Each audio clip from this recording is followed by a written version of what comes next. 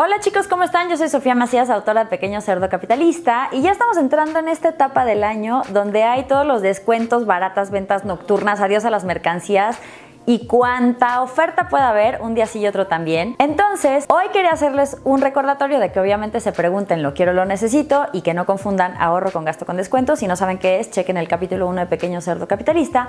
Pero también quería hacer un video muy específico de 5 situaciones donde yo creo que aprovechar las baratas termina siendo una completa pérdida de dinero y casi casi ellas están aprovechando de ti. Así que acompáñenme. Are you listening? Damn. 1. Comprar al 3x2 productos que nunca has probado. Si al final no te gustan, te quedas con un stock de cosas que ni siquiera te van a servir. Y además te hubiera costado mucho menos dinero probar solamente un artículo en vez de aprovechar la promoción. Esto aplica perfecto para comida, productos de belleza, de limpieza, que pues nunca en tu vida has probado y de repente te animas solo por la promoción. 2. Comprar varias prendas pero de diferentes colores porque está en rebaja en vez de comprar solamente una en su precio original que te hubiera salido en menos.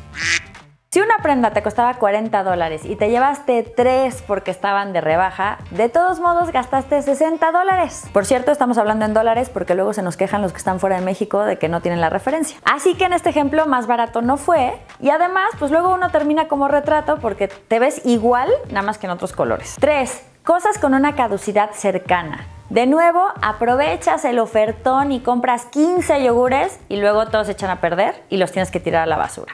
4. Cuando tienes que regalarle o enjaretarle parte de la oferta a otras personas para que te convenga. Esto pasa muchísimo con grupones, cupones de centros recreativos, spas y sobre todo más allá de arrastrar a todos allá, que a lo mejor te alucinan por eso y te cuesta mucho trabajo colocar el paquete, luego si tú pagaste, aguas con la colecta.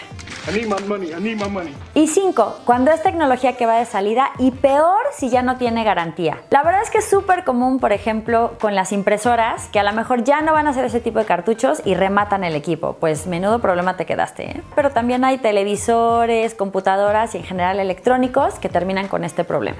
No! Experiencia donde el descuento barata te salió carísimo? Cuéntanos en el área de comentarios y si tienes amigos que sabes que siempre andan cazando ofertas y terminan tirando un dineral a la basura, compárteles este video. Yo soy Sofía Macías, espero que estos consejos te sirvan y te esperamos con más información en www.pequenocerdocapitalista.com.